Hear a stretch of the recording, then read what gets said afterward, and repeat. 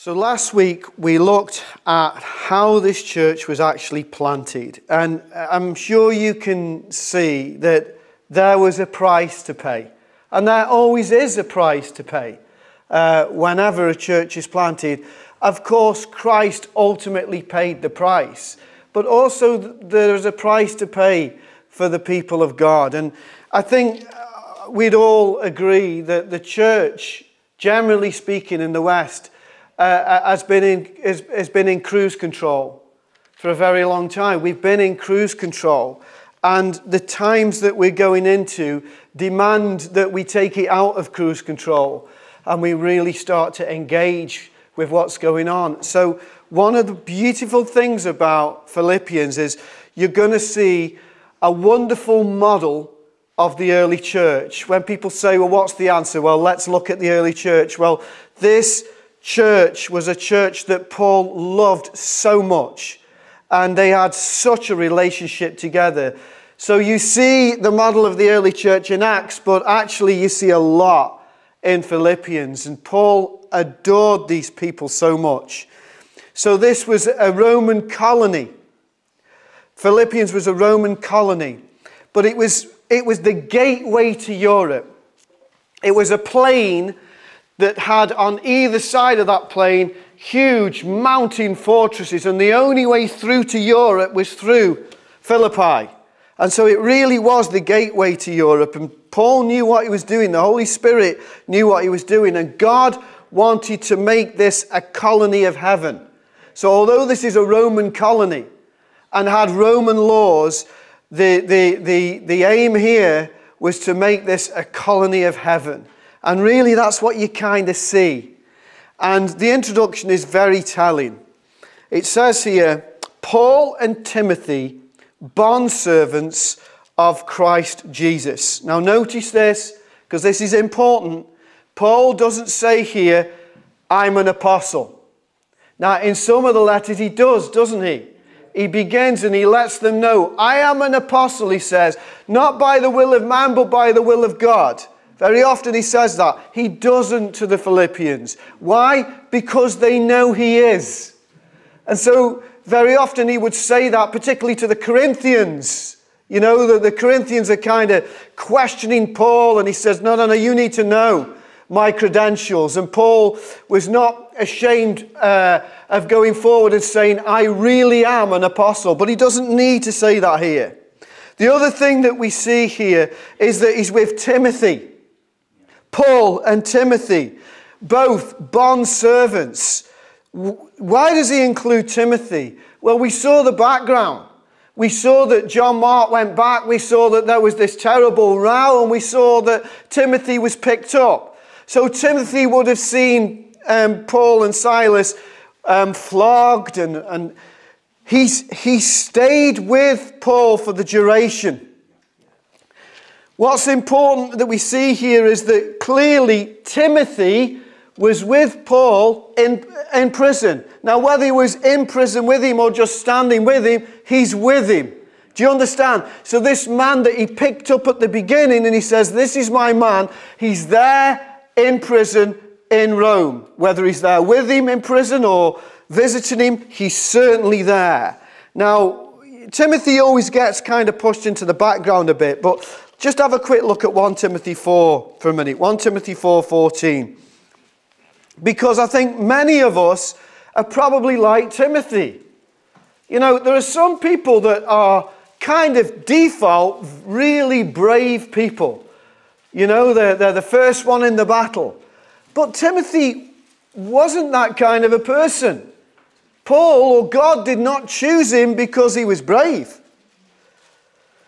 So it says here one in 1 Timothy 4:14, do not neglect the spiritual gift within you which was bestowed on you through prophecy, prophetic utterance with the laying on of hands by the presbytery, by the elders. So quite clearly this young man had been called to, to come alongside Paul and he'd had hands laid on him in 2 Timothy 1 6, if you read that, 2 Timothy 1 6, it says, For this reason I remind you, to kindle afresh the gift of God which is in you by the laying on of hands. For God has not given to you a spirit of fear, but of power and of love and of a sound mind. Now, if he's if Paul is having to say this to Timothy, who we, in church history is seen as an exceptional man of God, then how much more us? How much more do we need to kindle afresh or, or fan into flame that which, is, that which has been put there at the beginning, but it maybe needs fanning again? So he says to Timothy, Look, Timothy, what's controlling you now, fear, what's controlling you, which is fear, is not from God. But what is from God is dunamis, power, love, and a sound mind. And maybe that's you. I don't know. I've had quite a few people get in touch with me at the start of this year that their heads are spinning. They don't know what's going on in life anymore. Christians. And there was a lot of people at the start of this year that are, they just don't know what's going on in the world anymore. And there is a fear which, which is beginning to creep in. Well, don't think that Timothy was a brave person. He wasn't. He was brave in the Lord. That's it, you know? And 1 Timothy 1 1 Timothy 1 1 to 4 tells us, really tells us, the caliber of the man. So in 1 Timothy uh, 1, it says, Paul, an apostle of Christ Jesus, according to the commandment of God our Saviour, and of Christ Jesus, who is our hope. To Timothy, my true child in the faith, grace and mercy and peace from God the Father and Christ Jesus our Lord. As I urged you upon my departure from Macedonia, listen to this remain on at Ephesus, so that you, you may instruct certain men not to teach strange doctrines. Do you understand what's going on here? He's entrusting Paul with the mother church, with the most successful work that he did. That's what he's saying. I am entrusting you Timothy with Ephesus. The greatest work that Paul ever did. And he says, I'm, I am trusting that you'll stay there and you'll stand your ground and you will instruct them. That's incredible. That's the caliber of this man. That's what Paul thinks of him. So if you go back to Philippians, it's important that we grasp this. Paul and Timothy together, writing a letter from prison in Rome calling themselves bond servants, bond servants to Christ Jesus. To all the saints in Christ Jesus. Now, I want to pause for a minute and look at what this actually means. Because you know, back in these days, that buildings were, were, were consummated and, and made to be holy things, whether it be pagan temples or even as time went on, churches. You know, they'd sprinkle them with holy water and this, that, and the other. But this is important, and I think very often we miss it, is that actually we are all saints. Saints. We're all saints. And the word saint means to be holy or to be set apart. And before we go any further, I just want to look at this because it's important. Have a look at Acts for a minute, the book of Acts, chapter 9, Acts 9:13. You know, Paul isn't calling them saints because they're his converts. Some people do that, you know, eh, well, if they're my converts, they're saints. but he says it in Acts 19:13, but Ananias answered, Lord, I have heard from many about this man, Saul, how much harm he did to the saints at Jerusalem. He did this harm to the saints at Jerusalem. There were saints before Paul arrived. He's not calling them saints because they're his converts.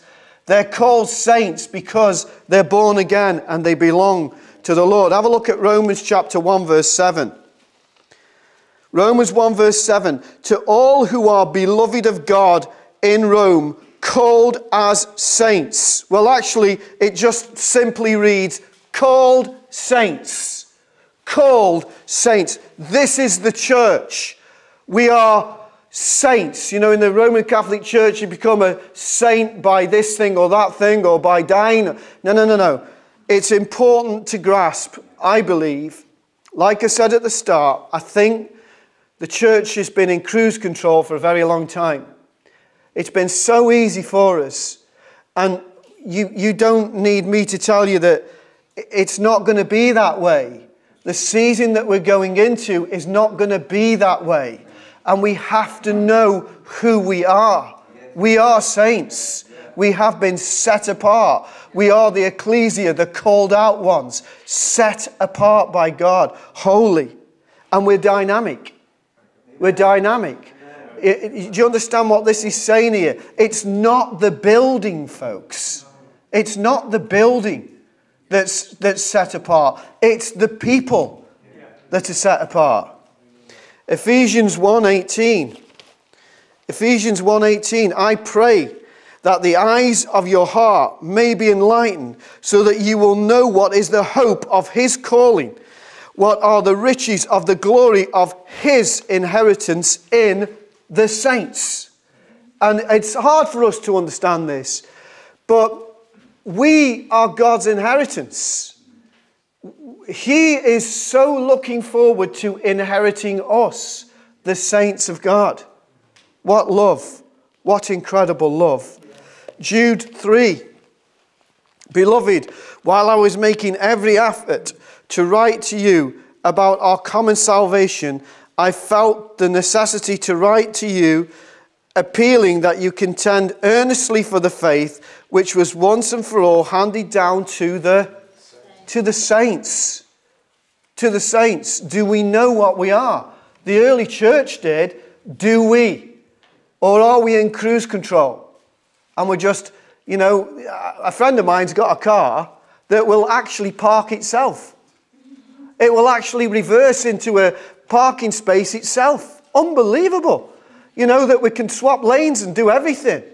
And I think we, we, the church has been like this for so long. We're going to have to take it out of automatic, stick it in manual, and start to really figure out what the church has got here. The church has a power. We are saints.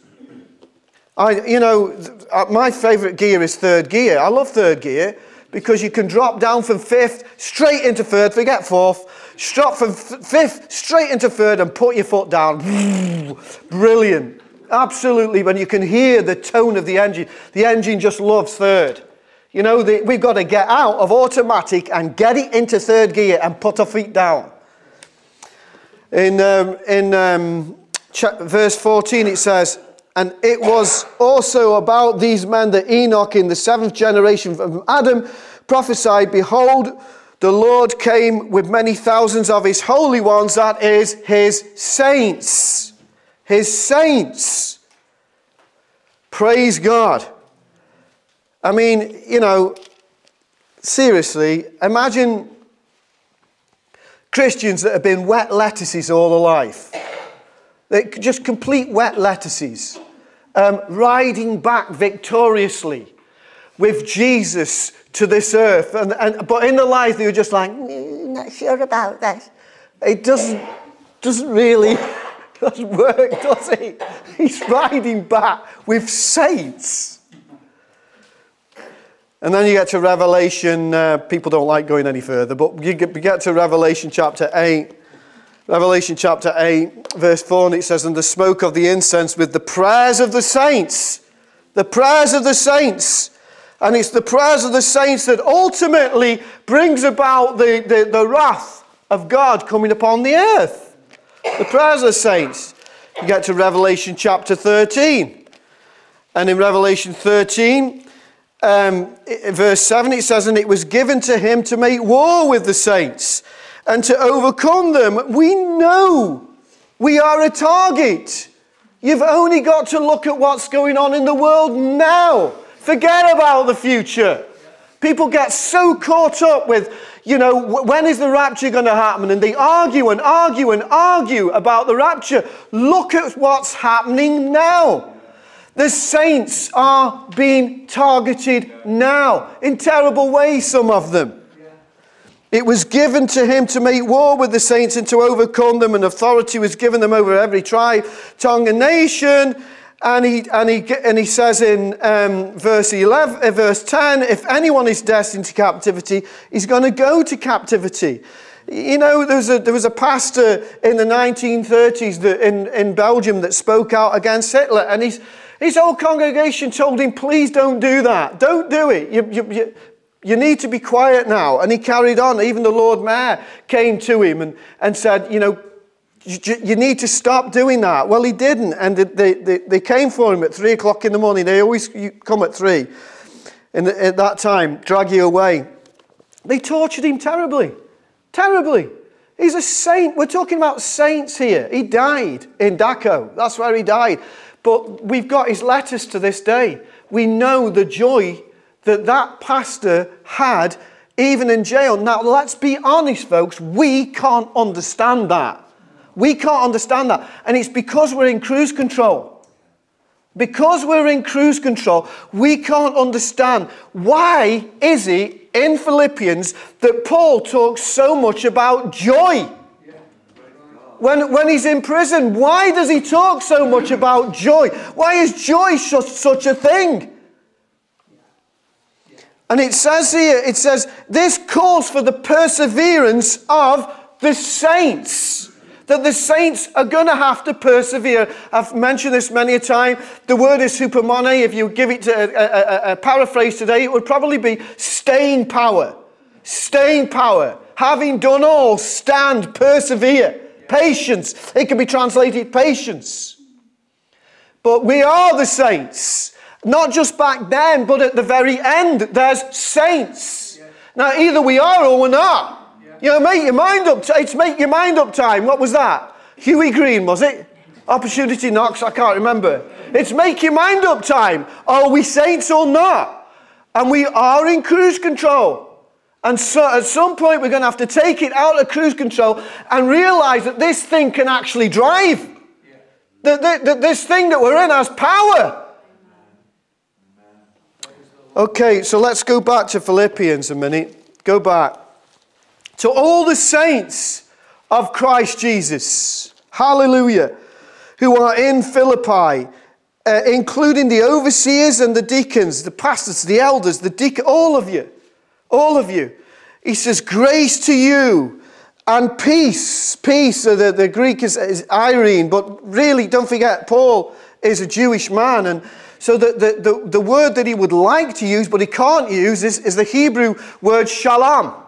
Shalom. And shalom has, carries much more power than any Greek word that tries to kind of convey peace. What he's conveying here is shalom. Shalom. Which is so powerful. I'm sure Viv understands, right? It, it, it means to be totally complete. It's more than that, much more than that, but to be totally complete no matter what. Shalom. Grace to you and peace from God our Father and the Lord Jesus Christ. I thank my God in all remembrance of you. I always offering prayer for you, for, for all of you, offering prayer for you all in view of your. Now, this is important. This is important. We've looked at the word saints. It's something that we don't really think about too much. But now there's another word here that, that, that, that the future church has to get hold of. This is another one where you take it out of, out of automatic, out of cruise control, and you, you, you, you begin to understand something that the church has lost sight of. And the word is koinonia. It is here, it's, well, in, my, in this translation, it's, it's participation. Sometimes it's translated fellowship. But it's so powerful. It's such a powerful word. So he's saying here, I always offering prayer with joy in my, uh, in my every prayer for you all, in view of your koinonia, participation, fellowship in the gospel from the first day until now. This is so important. This is what separates the early church from what we kind of see today. And somehow we have to rediscover koinonia. So um, have a look at Acts chapter 2. We'll start. Everybody, on, you know, everybody gets Acts 2 when it comes to this. But in the early church, they were, break, they were breaking bread from house to house. And it says they were continually devoting themselves to the apostles' teaching, to fellowship, to the breaking of bread, and to prayer. Now, the word fellowship is koinonia. Now, what you see a lot of today is, you know, come along, we have a sewing club. Come along, we have a, uh, a watercolour picture club. If you want to, um, you know, come and join our painting club, come along, or come along to this thing or that thing and, and, and join in. And they, they say, come along and have fellowship. Come along and have fellowship. That is not really what koinonia is. Koin, the, koinonia is not just coming together as Christians and sharing some common hobby. There's, I'm not saying there's anything wrong with that, but that's not really what it is. It's coming together and through the Spirit of the Lord, connecting, partner, partnering together with one another in the things of God. In the things of God. You know, I remember when Mandy first came to our church um, um, down in Biddulph. And after the meeting, it's the first time she'd been, and after the meeting, she was talking to some of the, the girls there about the message. I don't know who preached, but about the message. And she was told, she was told off by some of the girls saying, what, What's up with you? The, the meeting is finished now. We don't talk about things like that when the meeting's finished. You know, she was told off for it. Um, because he was seen as, you know, I don't know, I don't, beyond me. But, but do you understand what I'm saying? There is something about koinonia. You know it. You know when you found somebody that you can have koinonia with. You just know it. And what you'll find is this they'll say, oh, I, was, I was reading this the other day in the Bible. I was reading and, oh, and you can talk for hours. You can talk for hours with somebody that you have koinonia with. And, and what I find is, is that with people like that, yes, you'll end up talking about the church. Yes, you'll end up probably talking about the demise of things. But the, the, the, the, the, the kernel, the DNA of what you talk about is God and the Word. That's koinonia. That's koinonia. And we have lost sight of it. We really have. Some people haven't. Some people never lost it. But have a look at 1 Corinthians 1 9. God is faithful through whom you were called into fellowship or koinonia with his Son, Jesus Christ our Lord. So it isn't just with one another. It's with our Lord. We have fellowship with Him. And what you, what you begin to see is a network. It's an amazing network. So you have people connected th- through koinonia, but this connection always goes to the, back to the, the triunity of the Godhead and then out again. So it goes to Him and then out again. There's this incredible, invisible, global connection. Do you understand what I'm saying? It's a koinonia. Have a look in um, 1 John, 1 John 1 3. Be really good to look at. What we have seen and heard, we proclaim to you also, so that you too may have what? Koinonia with us, fellowship with us. So John is saying, we want you to have koinonia with us. And indeed, our fellowship is with the Father. Do you see that? So you have a fellowship with one, one another, but the fellowship is with the Father and with His Son, Jesus Christ. These things we write to you that our joy may be made complete. This is the message that we have heard from Him and announced to you that God is light, and in Him there is no darkness at all. If we say that we have fellowship, koinonia with him, and yet we walk in the darkness, we lie and do not practice the truth. But if we walk in the light, as he himself is in the light, and we have fellowship, koinonia, with one another, the blood of Jesus, his son, cleanses us from all sin. This fellowship is so crucial to this letter, as you'll see as we go through. It's crucial.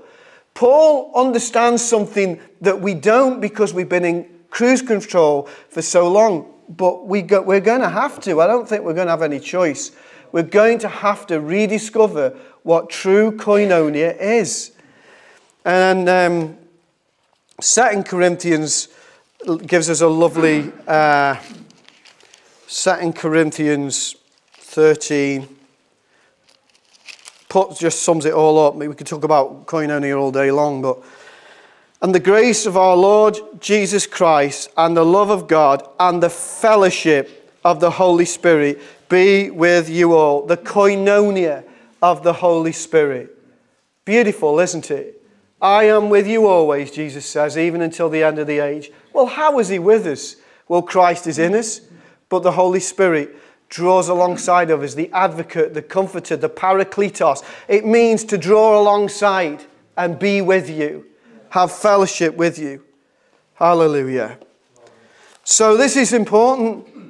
This is important, and I think with the letters, um, often these things get overlooked, but koinonia is key. And then he, then he says this For I am confident of this very thing, that he who began a good work in you will perfect it until the day of Christ Jesus. And I, you know, friends, there's, there, there's so much. Let, us just go, just go very quickly to. Um, to Revelation. Just go to Revelation, um, Revelation 19 just for a second. Revelation 19, we see the saints. Revelation 19 8. And it was given to her to clothe her in fine linen, bright and clean, for the fine linen is the righteous acts of the saints. The saints, the saints, the saints, the saints, the saints. He who has begun a good work. This is why we, we, we, we, we sang it this morning. We raise an Ebenezer. That is, we raise a stone that says, Thus far the Lord has been good to us.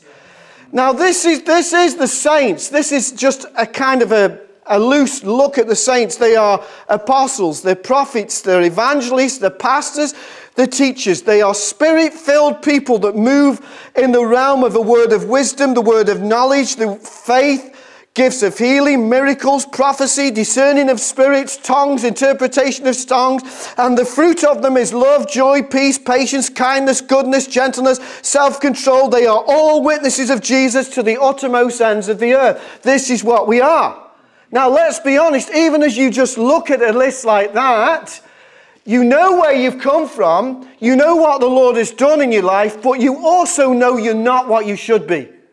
We all know that. If you're really honest, we know that. Paul will go on to say that in Philippians. I'm pressing forward because I know where I've come from, but I'm not what I should be yet. And so here the promise is the person that's begun a good work in you, folks, if we stick with him, and, and here's the thing you don't just use promise box Christianity. You take that one verse, you know, out and you say, well, this is for me. The rest of this letter backs up what he's saying here. Do you understand? Everything else that flows from this. But in, he who has begun this good work, thank God, he will see it through. I said it a couple of weeks ago. We are indebted to our God for everything. Not, not just the church, the heathen. The heathen.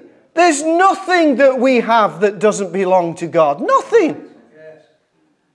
You know, it's a sad, sad thing when, pe- when people choose songs that are not appropriate for funerals. But I was talking to a funeral director this week. He says, It happens all the time now.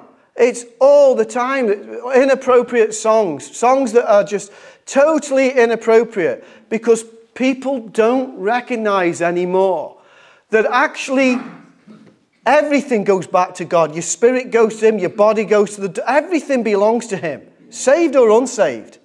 But the one that began a good work will see it through. And he says, he goes on to say, For I am confident of this very thing. He who began a good work and you will perfect it even till the day of Jesus Christ. Read on. For it is only right for me to feel this way about you all, because I have you in my heart, since both in my chains or in my imprisonment and in the defense and confirmation of the gospel, you are all partakers of grace with me. Now, that's another derivative of koinonia. It's sync, sync koinonia. It's coming together and syncing up with Him in this. I think that's what's missing. I really do. I think what's missing is we're not really synced up. We're not really synced up together to the cause here. You know, we, we come along, we do our bit, we give the Lord an hour or two here and an hour or two there, but there's not that syncing up that the early church had. They, they, they really bought into this with everything. I mean, I can remember, I'm not that old, but I can remember when people financially gave up everything. They gave up their finances. Now, of course, today that would be consi- you would be considered to be in a cult. Today, you would be considered to be in a cult to do that. But that was how it was not that long ago. People would give up so much. They were synced up for the cause of the gospel. And that's what he's talking about here. By the way, I'm not suggesting whatsoever that you, uh, but, but, but, but listen, people did it. You did it. You know, I, I can remember very many times people that, that, were, that just hadn't got the money to do this thing or that thing and the other thing. Yeah, people were amazing. Being, being partakers in this together, in prayer, backing people up.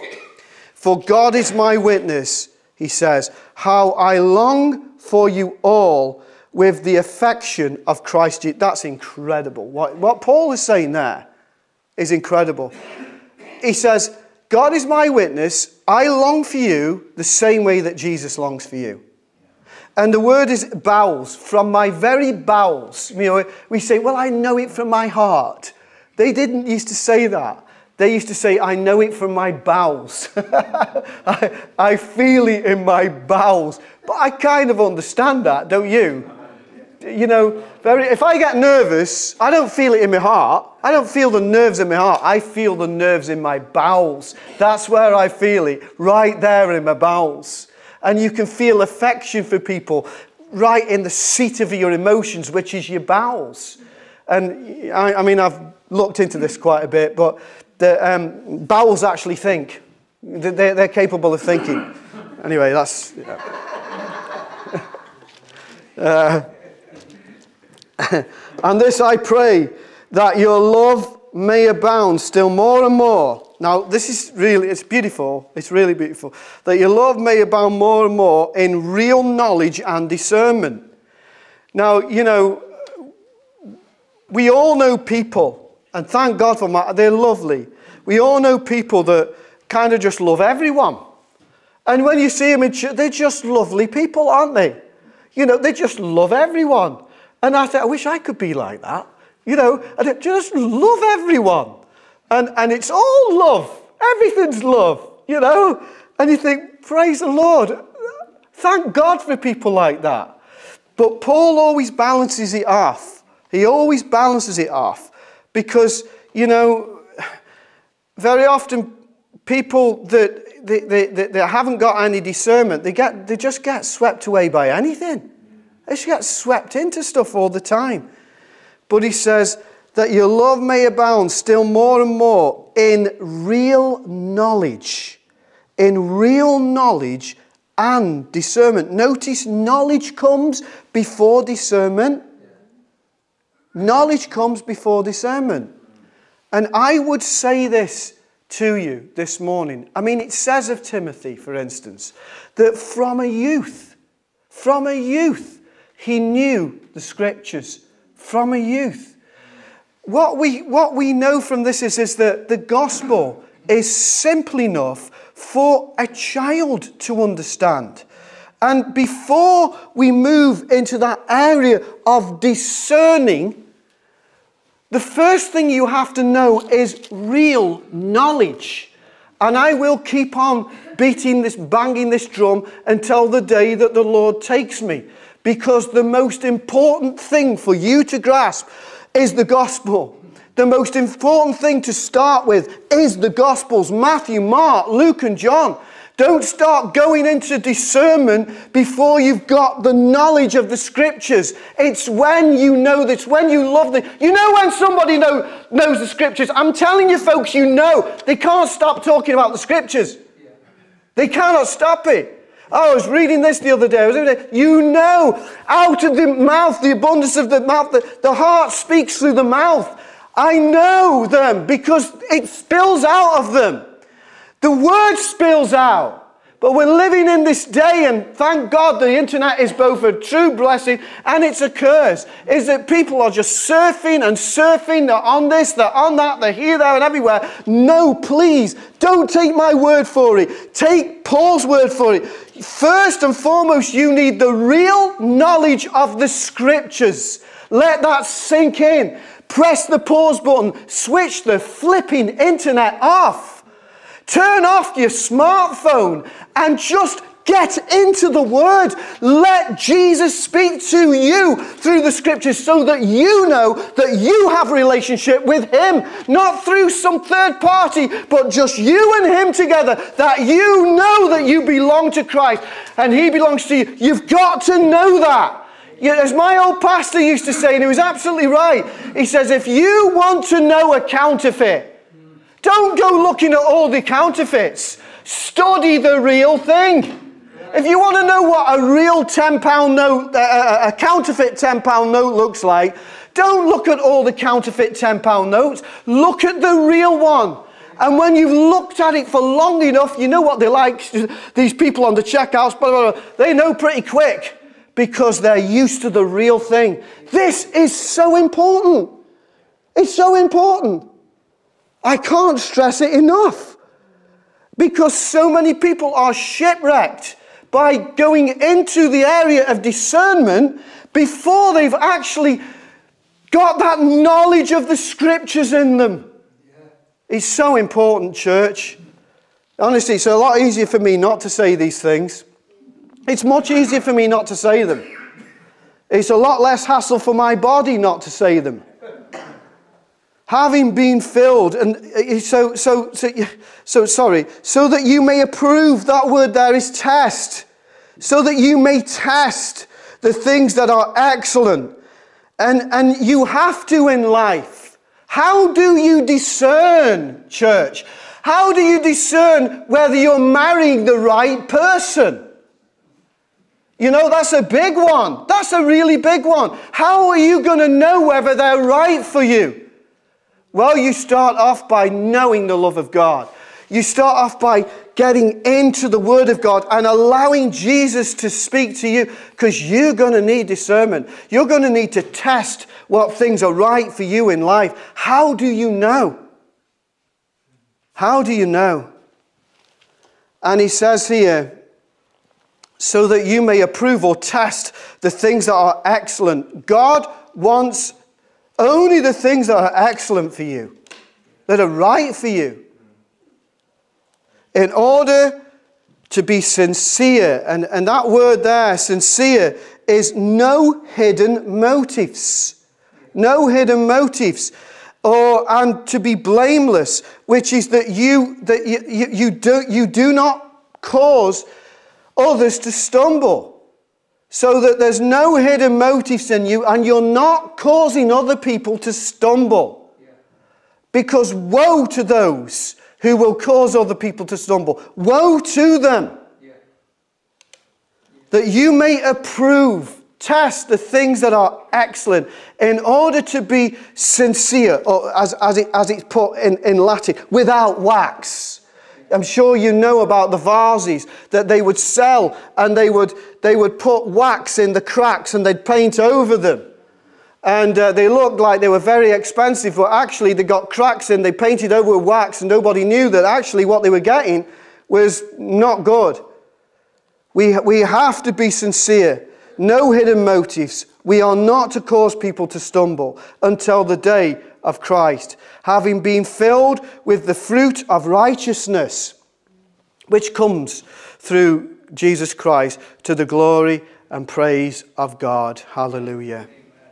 Now, I want you to know, brethren, I want you to know that my circumstances have turned out for the greater progress of the gospel. Amazing. Amazing. Um, what Paul went through. You know what he went through. Incredible. Uh, Paul went on, had three trials, just like Jesus had three trials. He had, a, he had to stand before Felix, Festus, and Agrippa.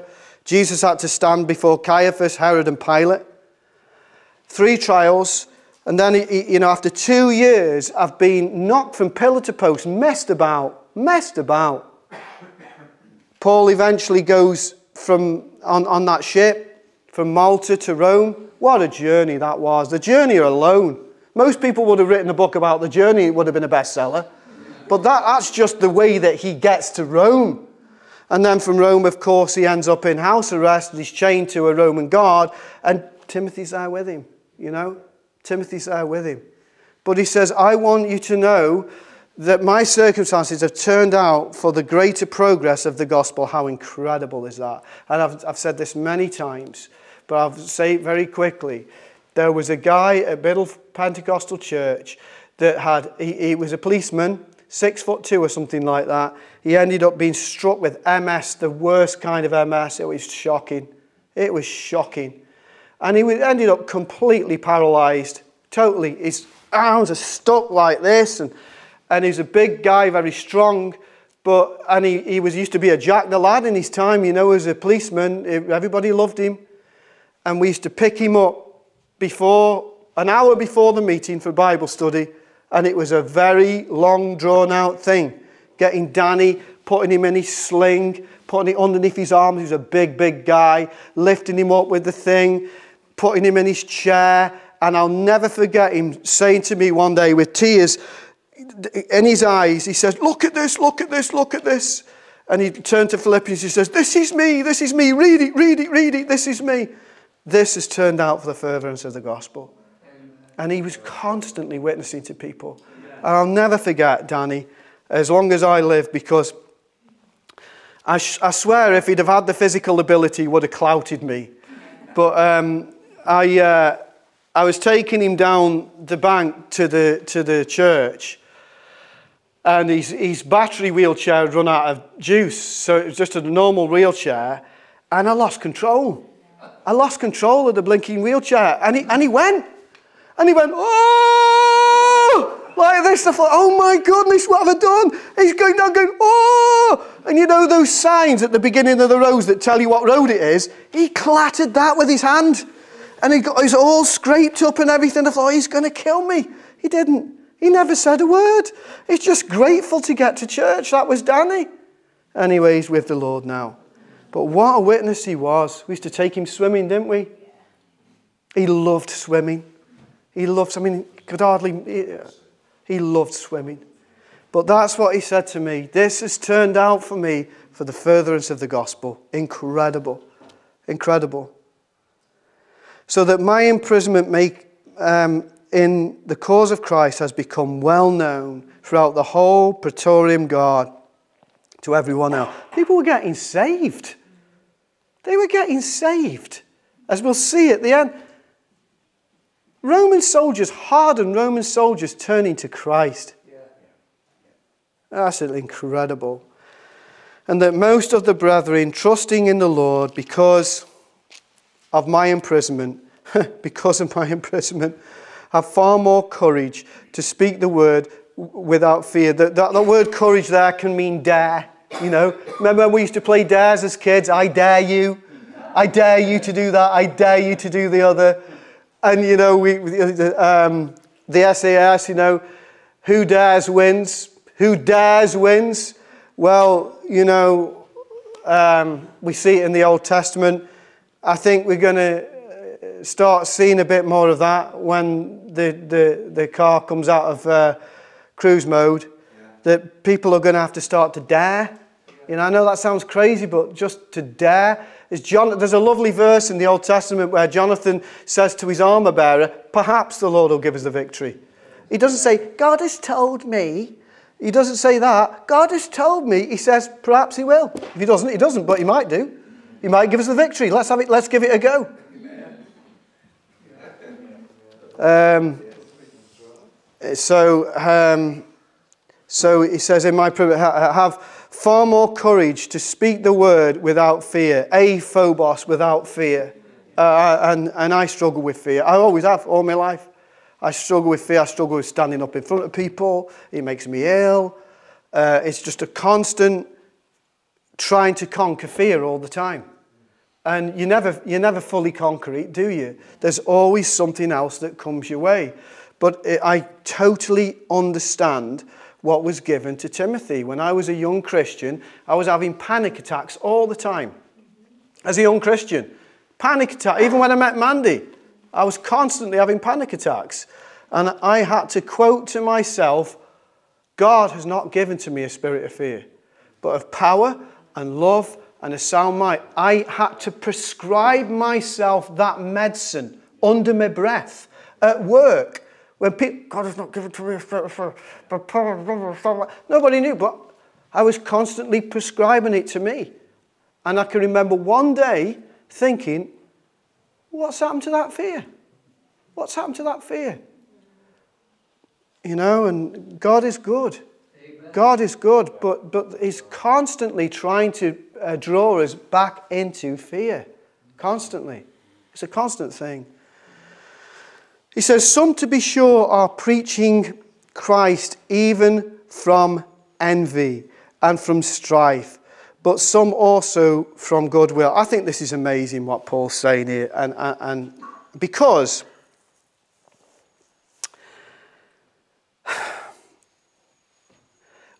when we go through life, right, when, you, when you're fighting fit and, and everything's going your way, chances are, you know, you, you, you kind of like, I don't think you have as much grace. I don't think you have as much grace. And sometimes you can look at Paul and, you know, remember the time when he, re- he rebuked Peter openly, really, really rebuked him openly. When you look at Paul here, he knows he's coming to the end of his life. And there are things I think that really, really wound him up. Really wound him up. That uh, here, he seems to be taking a slightly different stance on it. Illness humbles you. I mean, it really humbles you. But so does persecution. It really, very, very, very humbling. So here, there are people here that Paul says, are preaching out of contentious, a contentiousness, a disputing spirit, a, a quarreling spirit, strife, but some also from goodwill. Now, go back to 1 Timothy just for a minute because Paul carries on to talk about this. So he said in 1 Timothy 1, Paul sends Timothy to his most important church. There's no doubt. He entrusts him with his greatest work. And so in, he says, um, he says, I'm sending you. I want to send you to, to, to uh, Ephesus. Sorry, it's not 1 Timothy. It's uh, what did I say? 1 Timothy 1 4, isn't it? Sorry about that. Yeah. So he says, he's sending them to Ephesus, verse 3. He says, Don't pay attention to myths or endless genealogies, which was a big thing back then. which give rise to mere speculation, rather than furthering the administration of God, which is by faith. But the goal of our instruction that is love from a pure heart and a good conscience and sincere faith. He says, Some men, straying from these things, have turned aside to fruitless discussion, wanting to be teachers of the law, even though they do not understand either what they are saying or the matters about which they are uh, they are confident about. And, and Paul says, don't get into these things. Don't get into these things. There's, uh, when you go back to Philippians, this is what he says here. He's saying that there are those that are preaching from a wrong motivation, they're causing strife, contention. There are also those that are preaching from, from a, a, a, a good heart. And he goes on, he says, um, The latter do it out of love, knowing that I am appointed for the defense of the gospel. The former proclaim Christ out of selfish ambition rather than from pure motives, thinking to cause me distress in my. Now, this is incredible. That, that word distress is thlipsis, thlipsis, which is tribulation. There were people that were preaching against what Paul was saying while he was knowing that he's in prison, that he can't do anything about it, to actually cause him tribulation. They wanted to. It's horrible, isn't it? It's so spiteful. But Paul says, What then? What then? That only that in every way, whether in pretense or in truth, Christ is proclaimed, in this I rejoice. Now, that for Paul is massive. Massive. Because if anybody's going to come down on you like a ton of bricks, it's Paul. But here at this point in his life, he's so humbled. He's so messed up, you know. He's, he's gone through two years of waiting and he knows his life's coming to an end. You, can begin to see a, a, a kind of a softening in him. But basically, what Paul's saying in a nutshell here is God will sort this mess out. God will sort this mess out. And God will. God will.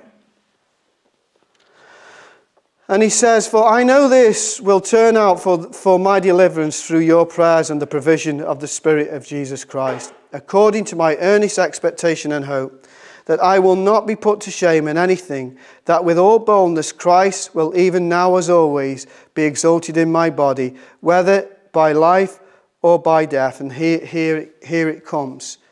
For to me, to live is Christ, and to die is gain. Amen. Now, David Pawson had a, a very close, a very close preacher friend who got cancer. Some of you may, may remember, but he got cancer, and um, and this is what he said to David Pawson. It's terminal. He said, he said to, to David Pawson, I am eager to stay, but I am willing to go. That's what he said. I am eager to stay, but I am willing to go. And David Pawson said to his best friend, You need to keep on praying until you can honestly say, I am eager to go, but I'm willing to stay. And, and he prayed it and he prayed it and he prayed it until in the end he could say to his best friend, I've got it. I didn't have it at the start. I, I, you know, I'm eager to stay, but I'm willing to go. But to get to that point in your life where actually you, what, what you want more than anything is you are eager to go, but you're willing to stay. I think that's incredible. You see, this is going to come to us all at some point or other in our lives. And we, folks, we, we have to come to terms. Some people do very quickly. Praise the Lord. Some people wrestle with it terribly. But Paul says it for me to live is Christ, but to die is even better. But if I am to live on in the flesh, this will mean fruitful labor for me. But I do not know which to choose. I don't know. He says, I'm hard pressed from both directions.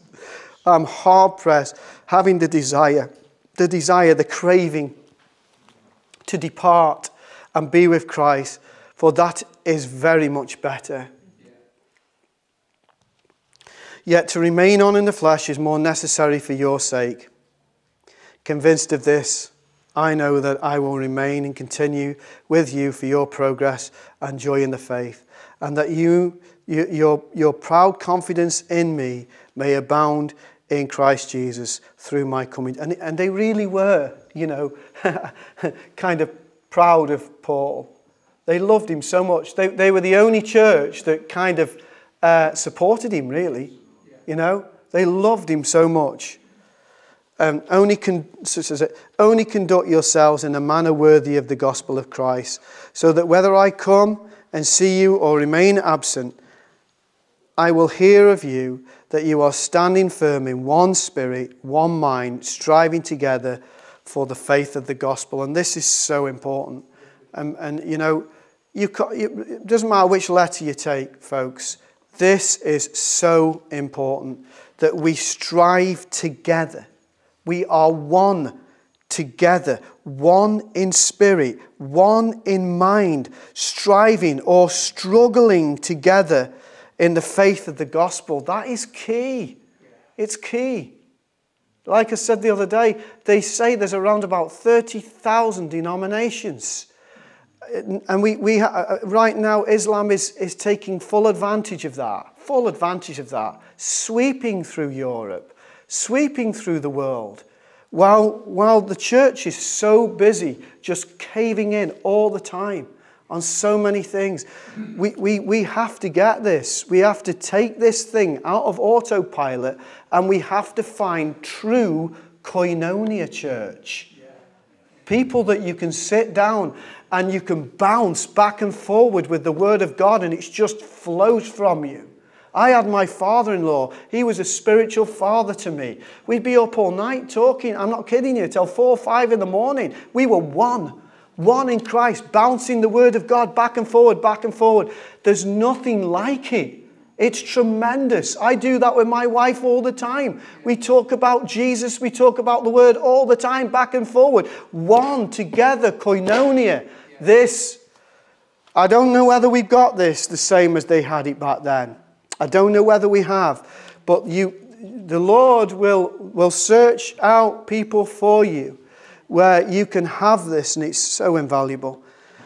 In no way alarmed by your opponents, which is a sign of destruction for them, but of salvation for you, that, that too, and that too from God. For to you it has been granted for Christ's sake, not only to believe in him, but also to suffer for his sake. And that's where we get the word paschal, the paschal lamb, the suffering lamb. That's where we get it from. Experiencing the same conflict which you saw in me and now you hear to be in me. Let me just finish with Philippians 3:10 and we'll we finish this morning. This even Paul said, I, I have not arrived. I have not arrived. Folks, we never arrive down here. There's so much to learn. As, or as Ray often says, you never graduate from the school of hard knocks. You don't. Nobody ever does. We never arrive.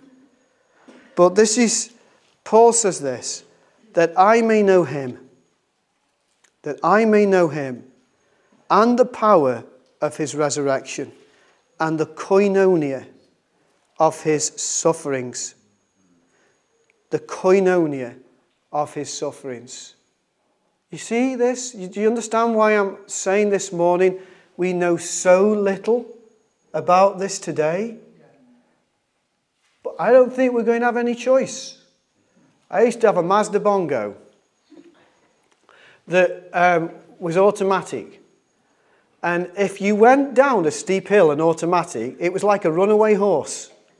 It was so dangerous. It just couldn't keep up with the, with the bank. You had to take it out. And you had to put it manually into gear. Otherwise, you wouldn't stop. You'd just you'd crash at the end of the bank. And the church has been drifting along now, just drifting and drifting and drifting. We have to come to terms and discover what does this real koinonia look like. And here, in chapter 3, and we'll get to it in a couple of weeks' time, he says, That I may know him and the power of his resurrection and the, and the koinonia of partnering, partnering with him in his sufferings, being conformed to his death. Amazing, isn't it? Yeah, That's Philippians, church. That's Philippians. And this is what I find about Philippians. It's not what you call a reactive letter, it's very proactive. There's no, there, you don't really see Paul really telling, you don't, you don't get told off so much. But what you get in this letter is you see such a purity that you're convicted by that. you're actually convicted by the purity of Paul and his relationship with the church. It's not because Paul's telling you off. There are people in this life, and sometimes you meet them, and there was this old man, and I met him, and, and he said to me, I want you to come to my house. And, he, and he, he, lived, he lived down south, and he says, I want you to come along, and this is the time you're to come, and this is the day you're to come, and all this. So I dr- drove all the way down to where he lived, which is Rugeley, quite a, quite a long way off. And, um, and, he had, and, and his house was called Koinonia. Koinonia. And, and he, was a, he was an Oxford prof, uh, professor, you know, he's a very intelligent man that had pastored a lot of churches in his time. And I'd go in to Donald's house, and he was so regimented. You, you, have to, you used to have to go in, and he would say, Now sign the book. And you have to sign the book, date it, put the exact time on that you got down there, and he'd strategically set you in this certain place. Every time you drink this coffee together that was always lukewarm and ended up with that horrible skin thing on the top of the coffee, but you couldn't complain because he was, the, he was such a pure hearted gentleman. He was in his 80s. He'd been there, he'd done that, he got the t shirt. He pastored three churches at one time in one go together, just going from one to the other with people in charge and stuff. He was an amazing man. And he would sit me down. And I would sit down and he'd just stare at me first. He wouldn't say a word, he'd just stare at me. All right, stop staring at me. What can you see? What is it you can see in me? he was so pure. The man was so pure. And then he'd say, Now let us pray, you know, and everything was done exactly the same time, every single time. Now tell me about your church.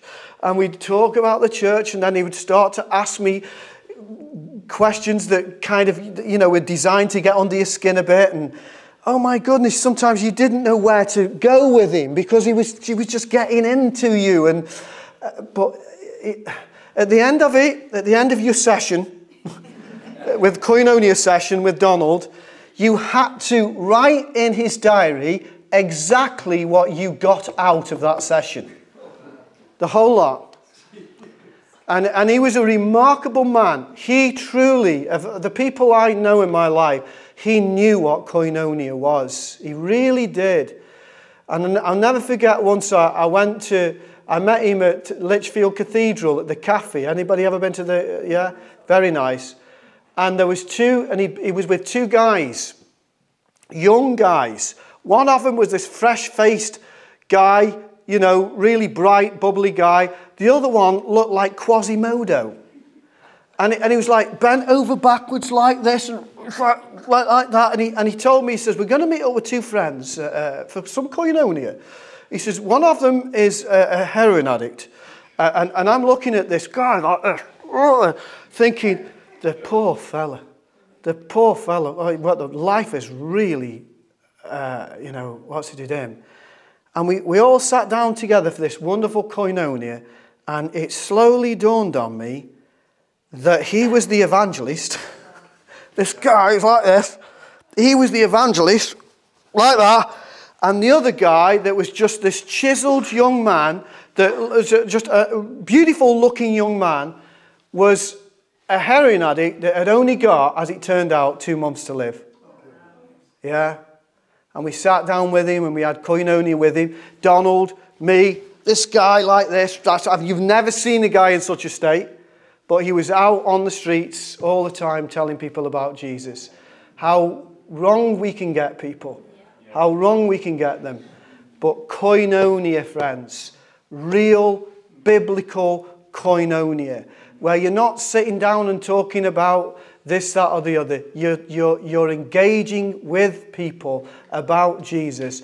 Koinonia is so, so important. And it's going to become more important. And I would say this as we close off.